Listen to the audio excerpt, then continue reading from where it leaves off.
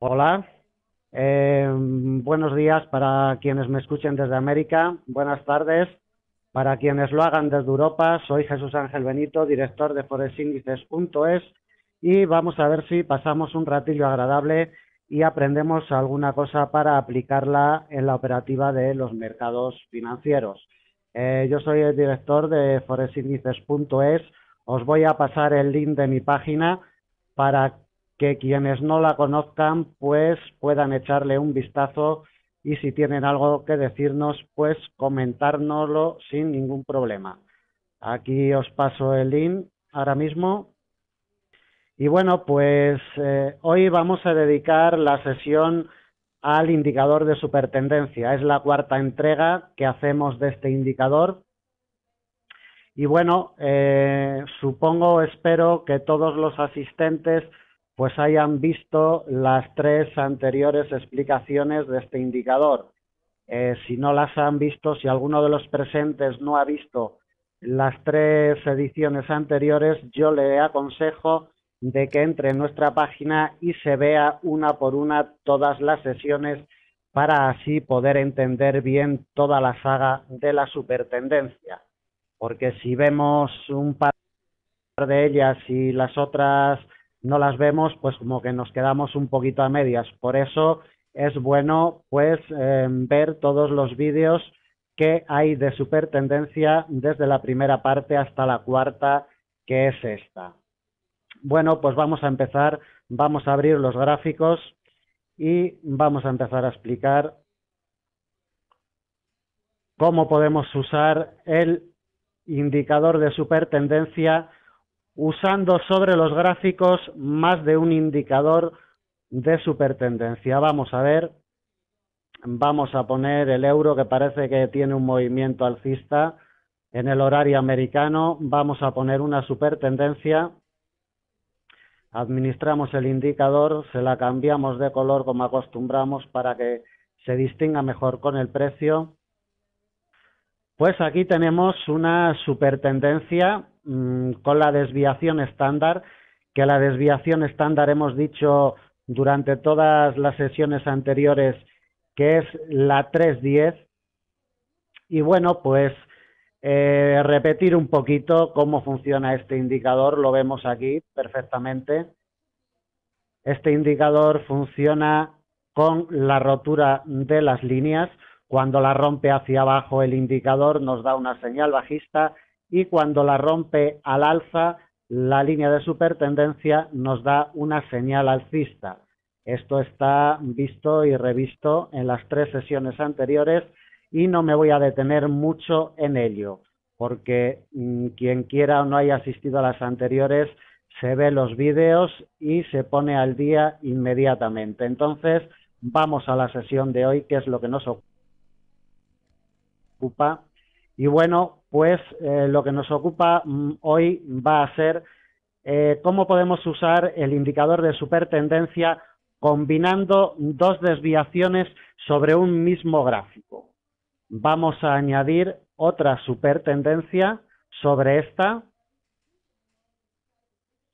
y vamos a ponerle, vamos a aplicarle un color distinto para distinguirla también y una desviación distinta. Vamos a elegir una desviación al azar, tampoco vamos a comernos mucho la cabeza esta tarde, vamos a elegir pues una desviación al azar, una seis y medio diez, por ejemplo, porque lo que quiero que veáis y que comprobéis es cómo pueden utilizarse dos supertendencias sobre el mismo gráfico y de qué manera podemos encontrar oportunidades de mercado para aplicarlas con este indicador. Vamos a ver.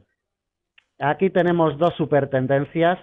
La supertendencia de color amarillo para los movimientos bajistas y de color azul claro para los movimientos alcistas es una supertendencia 310 y la supertendencia de color rojo oscuro para los movimientos bajistas y azul oscuro para los movimientos alcistas es una supertendencia 6,5-10.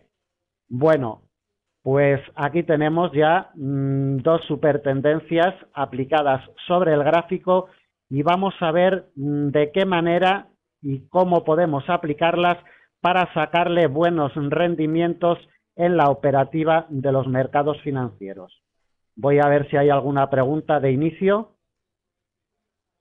Herreravi, eh, este indicador eh, se consigue en las plataformas em, de, dos brokers eh, con los que trabaja Forex Índices o bien en Internet. Yo te aconsejo, si quieres saber los brokers que utilizan estas plataformas y estos gráficos, que te pongas en contacto a través de nuestra página con nosotros y ahí te explicamos de qué manera puedes conseguir estos gráficos.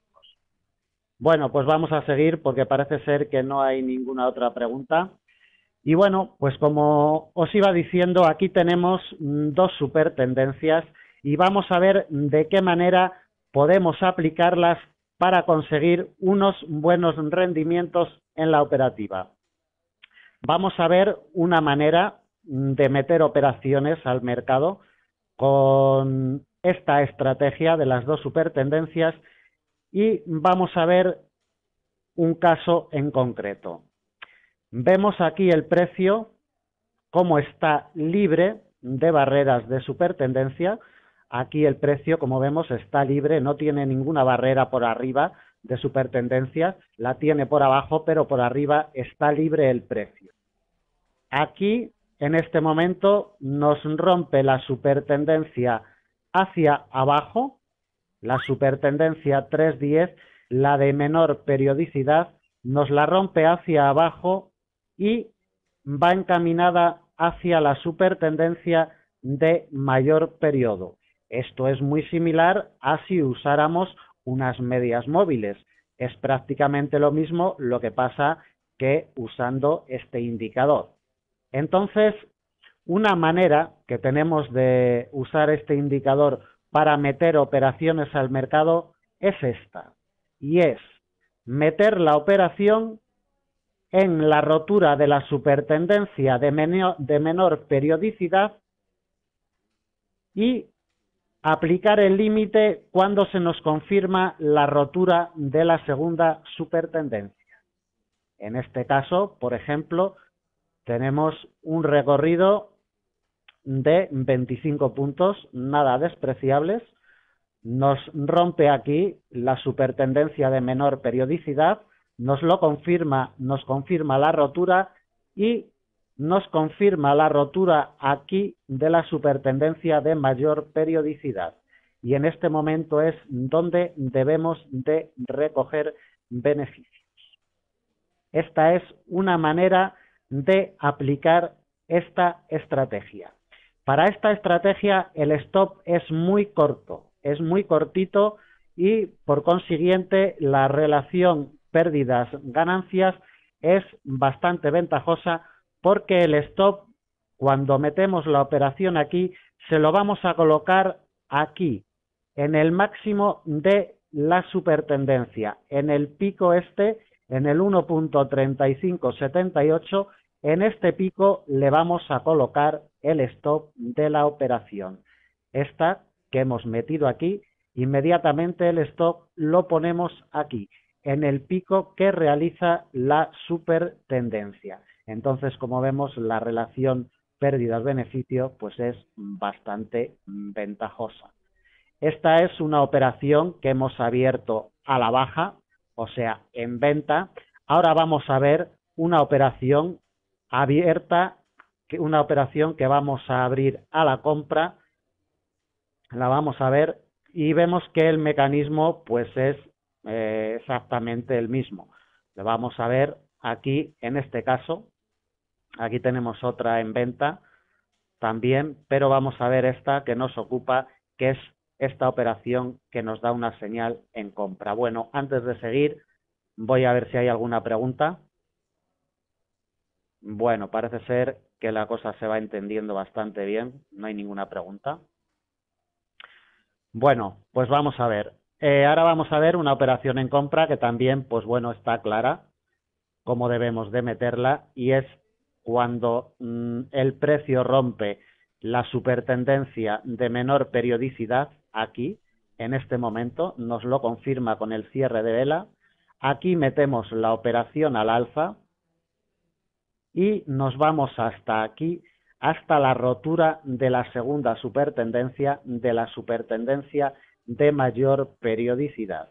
Aquí recogeríamos beneficios. Tenemos el mismo caso que en la operación metida a la baja, el stop debemos de colocarlo aquí en este nivel, justo en el pico de la supertendencia en el nivel del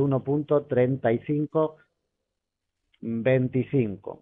Aquí metemos la operación en compra, dejamos que corra el precio hasta esta línea de resistencia que nos crea la supertendencia y aquí cuando nos cierra la vela y nos confirma el movimiento cerramos la operación en compra que hemos abierto aquí.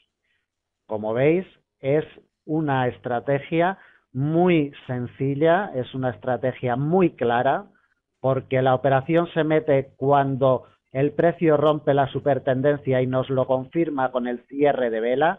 Recordar que con este indicador siempre hay que esperar a que cierre la vela, porque si la vela no cierra, nos puede pasar como aquí, que nos da una señal falsa, nos ha roto la supertendencia, pero no nos la ha confirmado, entonces esta rotura no vale. La que vale es esta de aquí arriba porque nos lo confirma con el cierre de vela, igual que aquí arriba. Recordemos que las roturas de supertendencia tienen que ser confirmadas siempre con el cierre de vela correspondiente, bien sea en una posición alcista o en una operación bajista. Es igual, pero hay que esperar siempre al cierre de vela. Bueno, pues creo que la explicación de esta estrategia para meter operaciones tanto a la baja como aquí, aquí tenemos una operación metida a la baja también y aquí hemos recogido beneficios con un promedio de riesgo, o sea, de ganancia pérdida pues mm, bastante eficiente y bastante rentable. ¿eh? Aquí tenemos dos casos seguidos, uno a la baja y otro al alza, uno en venta y otro en compra. Y bueno, pues es una manera, es una manera de usar este indicador doble. Es el indicador de supertendencia con dos desviaciones distintas. Una cosa os quiero aclarar, yo he puesto aquí estas desviaciones pero las he puesto al azar. Tampoco os fiéis mucho de estas desviaciones. Eh, vosotros en los pares de divisas y en los productos financieros en los que trabajéis tenéis que testear, ¿eh? tenéis que testear mucho el indicador y si queréis hacer una buena combinación de dos supertendencias, pues irlas acoplando a vuestro a vuestra temporalidad gráfica favorita, favorita y a vuestro producto financiero favorito irlas acoplando y ver de qué manera le podéis buscar las vueltas al mercado y al producto en cuestión para sacarle un buen rendimiento en puntos. ¿Vale? Porque cada producto financiero, cada par, cada temporalidad gráfica es distinta y cada temporalidad gráfica y producto financiero se portan de formas y maneras distintas. Entonces, vosotros con los productos que estéis acostumbrados a trabajar, testeáis y miráis a ver cómo podéis organizaros un buen plan de trabajo con un par de indicadores de supertendencia. Esta estrategia que yo os acabo de configurar aquí es una estrategia que funciona, no siempre, por supuesto. Aquí hemos visto, aquí atrás hemos visto casos fallidos, aquí en este caso, por ejemplo. Entonces, no siempre funciona, pero bueno, hay que testearla porque es una estrategia que a largo plazo es bastante efectiva. Vamos a ver si hay por aquí alguna preguntilla más. Eh, Jaimilio, eh, vamos a ver. El gráfico es de cinco minutos. El gráfico lo he escogido también al azar. O sea, no, no me he preocupado sinceramente de coger un gráfico más acorde o menos acorde al indicador que nos dé mejores señales o que nos dé peores. ¿eh? O sea, ha sido un gráfico, un par cogido al azar y unas supertendencias cogidas al azar. Simplemente lo que quiero que, entendáis es el concepto e, y el mecanismo de cómo se introducen las operaciones al mercado, de cómo se recoge el beneficio y de cómo debemos de colocar el stop loss. Es un gráfico de cinco minutos, pero podía ser un gráfico de hora, de cuatro horas o diario. O sea, estas estrategias se pueden usar en cualquier temporalidad horaria. No tiene que ver nada, ¿eh? Esta última se hubiera perdido, dice Julio. No sé a qué te refieres con esta última se hubiera perdido. Esta última, la que he explicado, la última al alza, no se hubiera perdido nunca. O sea, es una operación ganadora, puesto que la supertendencia de menor periodicidad es rota al alza, se confirma con el cierre de vela tenemos el recorrido de precio hacia arriba y aquí nos confirma la recogida de beneficios con el cierre de vela cuando rompe la supertendencia de mayor periodicidad. O sea, es una operación ganadora como esta otra y como esta otra de aquí también. O sea, aquí tenemos tres seguidas que son ganadoras todas. O sea, no es perdedora, Julio, es ganadora. Eh, vamos a ver, mm, repito una vez más, eh, porque parece ser que el concepto mm, de la supertendencia, pues bueno, hay personas que no lo tienen claro y lo voy a explicar para ellos una vez más y las veces que haga falta, ¿eh? con mucho gusto lo explico. Mira, Orlando, aquí tú nunca puedes, nunca puedes aplicar el stop. ¿Por qué? Porque no confirmas el cierre de vela no confirmas la rotura de supertendencia, nunca puedes dar esta operación por perdida, porque nos tiene que confirmar la rotura de supertendencia con el cierre de vela como nos lo confirma aquí y como nos lo confirma aquí. ¿Me entiendes? O sea, esto no es una rotura de supertendencia confirmada porque sí, el precio nos ha bajado hasta aquí, pero luego la vela nos ha cerrado aquí. Entonces, esta operación no podemos cerrarla en pérdida nunca, porque como vemos luego el precio se nos ha ido para arriba en la dirección que nosotros hemos metido la operación y hemos recogido en beneficios. El indicador de supertendencia nunca lo podemos dar por perdido hasta que no nos cierra la vela y nos confirma el movimiento, como ocurre aquí, como ocurre aquí y como nos ocurre aquí. O sea, hasta que este movimiento y la rotura del indicador de supertendencia no se confirma con el cierre de vela, nosotros no podemos dar por perdida o por ganada una operación. Vamos a seguir con las preguntas. A ver. Herreravi, vamos a ver. Eh, la vela que tenemos que esperar a que cierre, eh, lo he explicado ya varias veces, es la que rompe el indicador de supertendencia y nos lo confirma con su cierre. O sea, este indicador hay que esperar a que cierre la vela que nos confirme su rotura. Si no, eh, la rotura es una rotura falsa, como hemos visto anteriormente en la explicación que os he dado, y entonces pues no es una rotura confirmada y no podemos meter la operación al mercado. Eh, Quique, ¿esto se hace en cualquier gráfico? Por supuesto. Solo es cuestión de testear las supertendencias. ¿eh?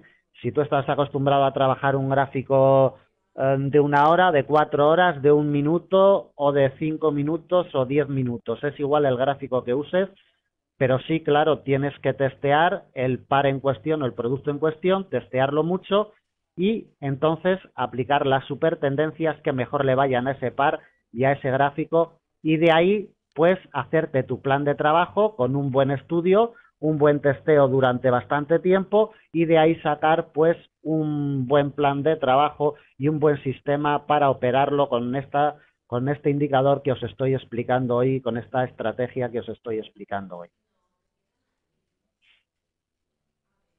Eh, Víctor FX, eh, he dicho en las anteriores sesiones que hemos tenido sobre la supertendencia, que yo en la MetaTrader 4 no sé cómo funciona este indicador porque no lo usamos en esa plataforma. Entonces, eh, sería confundirte o sería indicarte algo que desconozco. sé que se puede aplicar en ella, pero nuestros estudios no están eh, configurados en esa plataforma, entonces no te puedo indicar nada porque sería decirte cosas erróneas. Eh, Herreravi, pues en estos momentos no te puedo decir porque, bueno, no estoy eh, metido en el mercado, entonces no te puedo decir. Eh, Julio 5886, si ya sé a lo que te referías, pero creo que te lo, o sea, lo he explicado um, bastante bien ahora, mm, de todas maneras lo voy a volver a explicar otra vez para que quede bien claro. Y es que, mm, vamos a ver, aquí, este es el pico de la supertendencia, pero la supertendencia, para que se confirme su rotura, nos tiene que confirmar un cierre de vela, bien por debajo o bien por encima de la supertendencia. Como en este caso, aquí está confirmada ¿eh? la rotura, pero aquí no nos ha confirmado. Entonces, en el momento que nos confirme una rotura por debajo de la supertendencia, nosotros tenemos que cerrar la operación en pérdidas. Pero mientras no nos confirme esa rotura, nosotros no podemos salirnos de la operación o no debemos. ¿eh? O sea, eso de que no podemos, podemos salirnos cuando queramos, por supuesto, pero no debemos ¿eh? salirnos de la operación. Como aquí arriba, igual, si el precio llega y queremos recoger beneficios antes de que cierre la vela y nos confirme, pues bueno, podemos hacerlo también. No debemos, pero podemos. Poder se puede, o sea, en el mercado se pueden hacer todas las cosas que queramos. Ahora, lo suyo es llevar un rigor ¿eh? y un método de trabajo. Bueno, vamos a ver alguna preguntilla más que tengamos por aquí. Eh, Orlando, te contesto lo mismo. Sí, mira, esa vela que ha tocado la supertendencia podía haberse ido 30 puntos más abajo y podía haber cerrado la vela 30 puntos más abajo y entonces recoger unos, o sea, y entonces asumir unas pérdidas grandes. Pero el sistema es así, o sea, hasta que no se hasta que no se confirma la rotura de supertendencia con una vela, nosotros no cerramos la operación. Si quieres cerrarla, se puede cerrar. Cada uno coloca el stop loss pues donde mejor le viene. O sea, mm, yo no estoy dictando aquí unas normas, estoy simplemente explicando una estrategia. Entonces, bueno, si tú crees conveniente aplicar el stop ahí en ese nivel cuando toca, pues me parece muy bien. O sea, mm, yo hay veces que lo hago. O sea, que tampoco es que sea una norma estricta, pero mm, se debe esperar a que se cierre la vela porque hay muchos casos en los que nos sucede lo que ha sucedido anteriormente, que la, que la vela no nos confirma el cierre y al final la operación no sale ganadora. Eh, Milena, mm, te digo lo mismo. Es que yo no sé si aquí podemos eh, hacer publicidad de brokers o de plataformas, entonces mejor es que entres en mi página y me consultes a través de ella y yo ahí te digo en qué plataformas gratuitas puedes sacarte este indicador sin ningún problema. ¿Vale? Bueno, pues vamos a seguir con la explicación. Bueno, vamos a ver. Una vez aclarado aquí el asunto este, que me lo han preguntado varias personas y que lógicamente pues da lugar a equivocaciones porque efectivamente el stop, el stop se coloca aquí, pero cuando mm, yo digo que el stop se coloca aquí, yo entiendo, y si no me expliqué a la primera bien, pues me explico ahora que nos tiene que confirmar la rotura de la supertendencia. O sea, el, el stop inicial es en el nivel del 1.3525, pero hasta que no nos confirme la rotura de la supertendencia con el cierre de vela no es aconsejable. No quiere decir que no podamos cerrar la operación aquí cuando nos toca la supertendencia. Por supuesto que podemos cerrarla, pero no es aconsejable porque nos puede pasar lo que nos ha pasado aquí eh, en esta operación. Bueno, lo importante, lo importante y es eh, lo que os voy a preguntar a continuación es si el concepto y la mecanisma y el mecanismo, perdón, el mecanismo de introducir operaciones al mercado con este sistema y con esta estrategia os ha quedado claro o no. Por favor, podéis contestarme si os ha quedado claro o no el mecanismo. Gracias, Orlando. Muchas gracias por contestarme. Vale, pues veo que más o menos el concepto sí ha quedado claro. De todas maneras, si después de la conferencia alguien tiene alguna duda, alguna pregunta o alguna aclaración, em, pues que no dude en ponerse en contacto con eh, nosotros en Forest Índices y le vamos a decir todo lo que nos quiera preguntar sin ningún problema. Bueno, vamos a seguir con la explicación y vamos a ver mm, de qué manera podemos aplicar alguna estrategia más mm, combinando dos supertendencias, el indicador de, de supertendencia por parte doble. Vamos a ver si encontramos por aquí alguna situación un poco propicia para la explicación. Yo creo que aquí está bastante bien. Aquí. Aquí tenemos varias situaciones para explicaros lo que quiero a continuación. Vamos a ver. Hemos visto una forma de meter eh, operaciones al mercado con la combinación de dos supertendencias. A continuación vamos a ver otra que es y se puede asimilar también a una rotura de medias móviles, ¿eh? a un cruce de medias móviles o similares, o eh, indicadores de las mismas características. Bueno, aquí vemos cómo el precio lo tenemos encerrado, está encerrado el precio aquí, entre las dos supertendencias, tiene una resistencia por arriba que la configura la supertendencia de menor periodicidad y un soporte por abajo que la, que la configura la supertendencia de mayor periodicidad. El precio aquí está encerrado, hasta que no nos rompe aquí el precio está encerrado. ¿eh? Esto es como si fuera un cuadradito, a veces se configuran cuadrados perfectos ¿eh? usando esta estrategia y nos rompe aquí la supertendencia de mayor periodo y nos lo confirma con el cierre de vela. Pues bien, otra forma de aplicar este indicador y la combinación de dos supertendencias es precisamente meter operación a favor del movimiento del precio cuando el precio queda libre de las dos supertendencias. Es decir, el precio viene por aquí, se mete en un cerco, por arriba está rodeado, por abajo también, y cuando nos rompe la supertendencia, aquí entonces metemos una operación a la baja.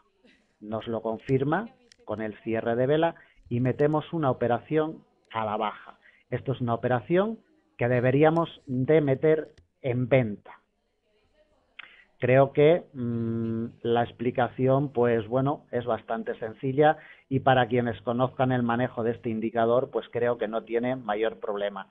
Entonces, esperamos, el precio está encerrado en una supertendencia y entre otras, y entonces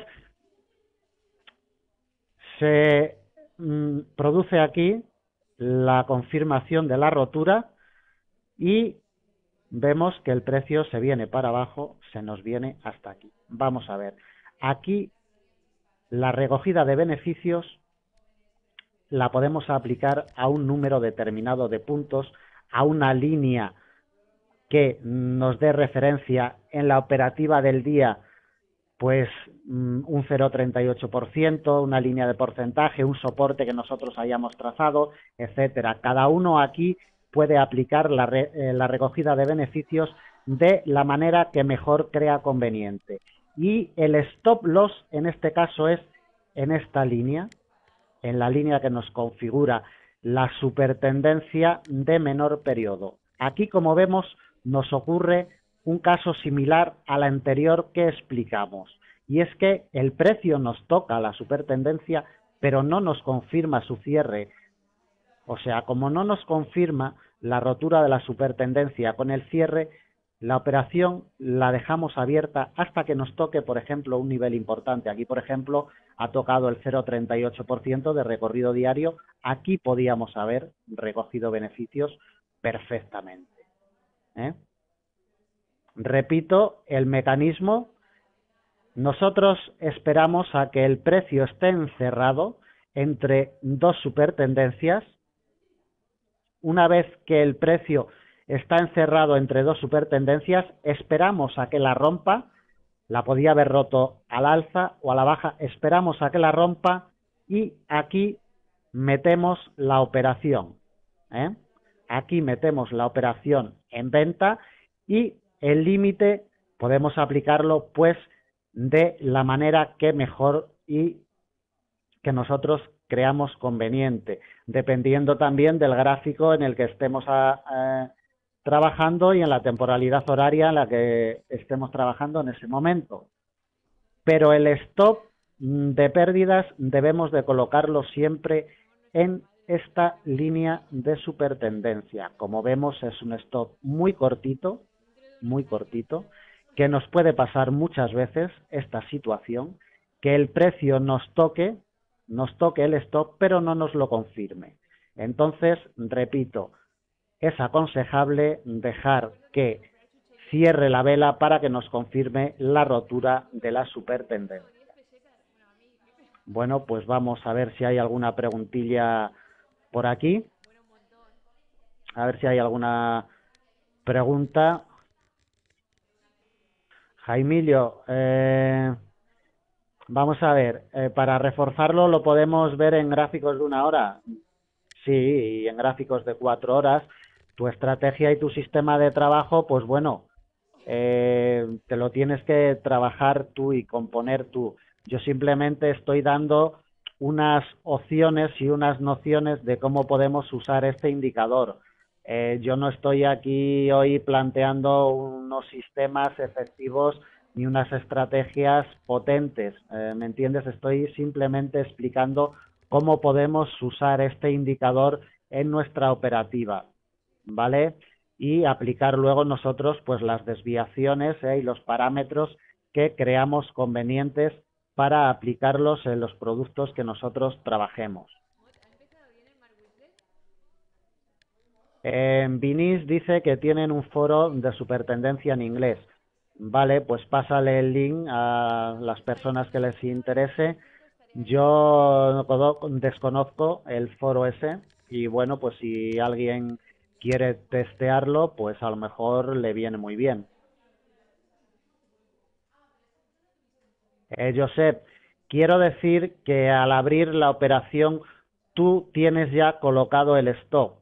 Y te voy a decir, porque es un stop dinámico, no es un stop fijo. Entonces, te voy a decir por qué tienes ya colocado el stop, pero un stop dinámico, no fijo.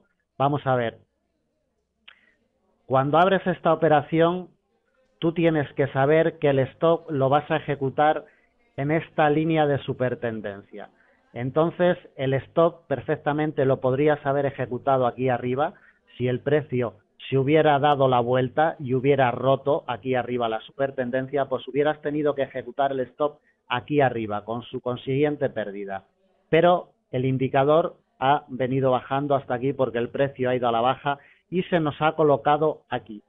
Entonces, nosotros lo lógico es que el stop loss lo coloquemos en la rotura de la supertendencia.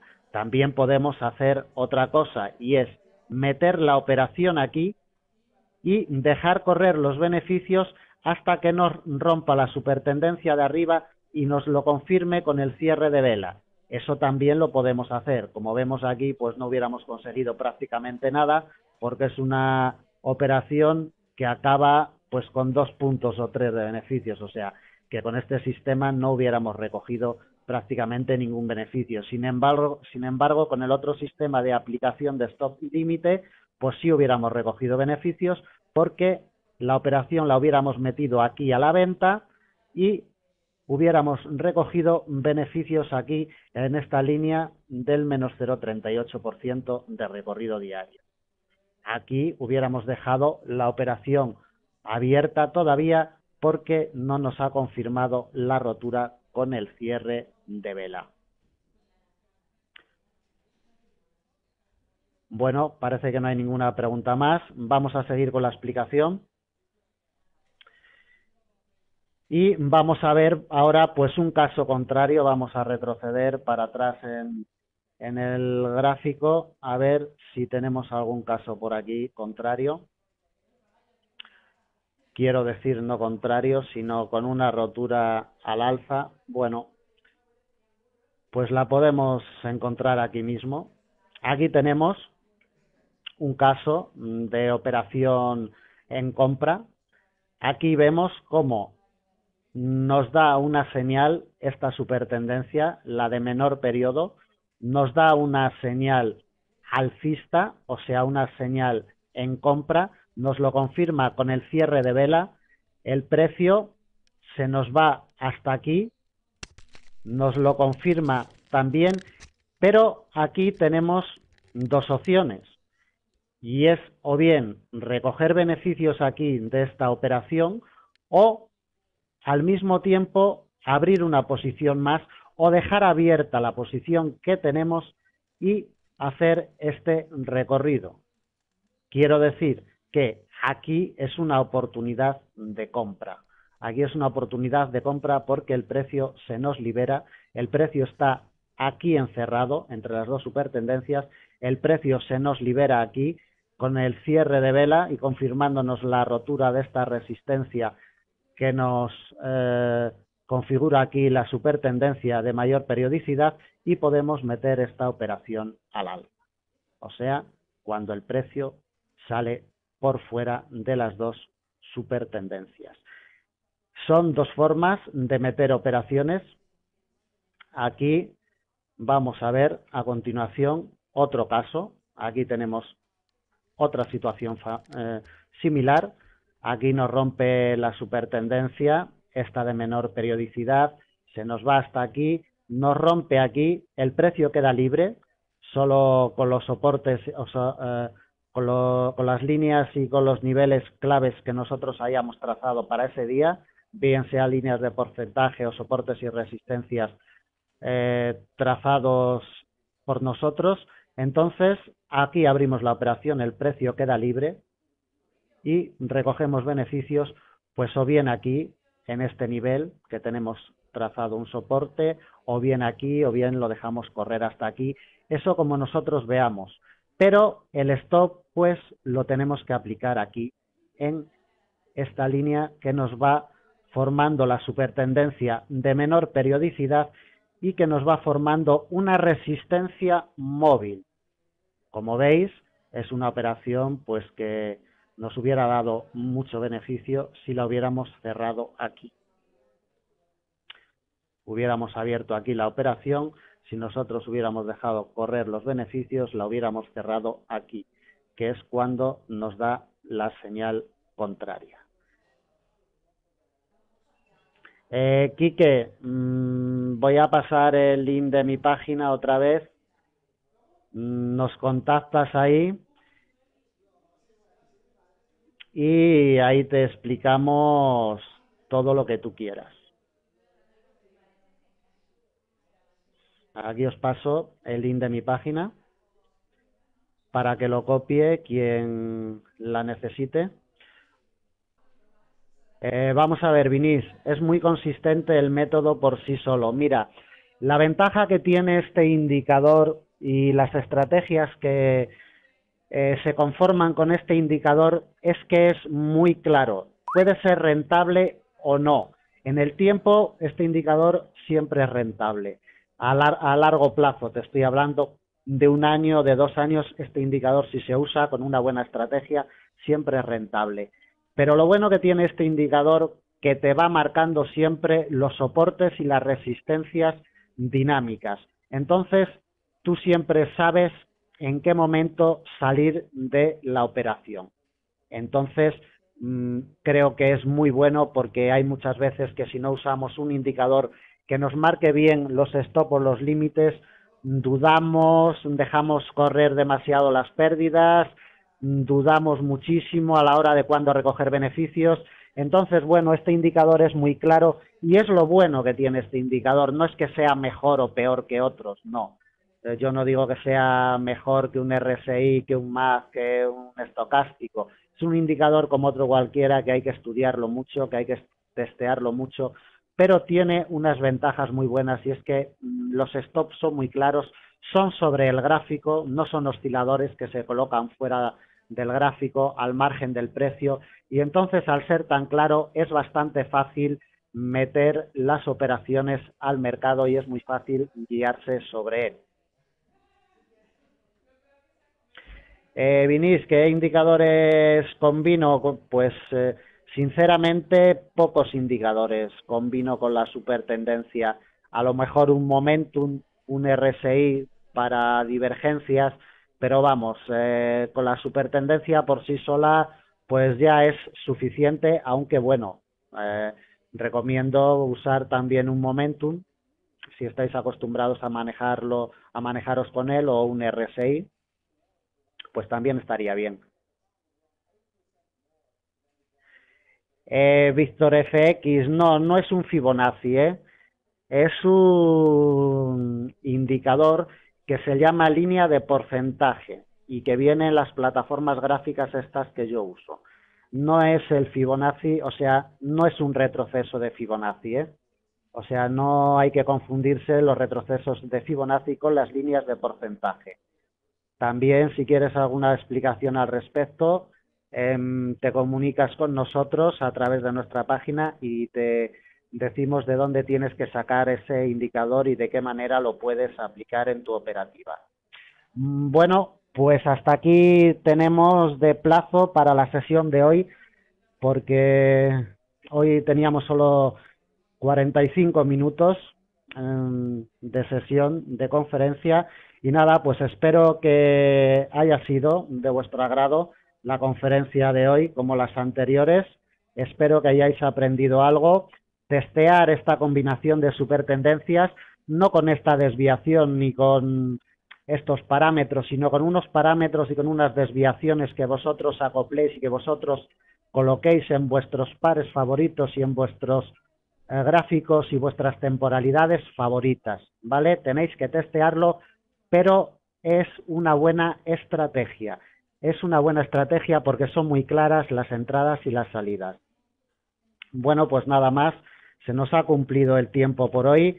Muchísimas gracias. Eh, yo estaré, creo que es el próximo 15, lunes día 15 de marzo, con todos vosotros en la sesión de qué moverá las divisas esta semana. Hasta entonces, muchas gracias y si queréis comentarme algo, hacerlo a través de mi página que os lo contestaré con muchísimo gusto. Gracias y hasta la próxima.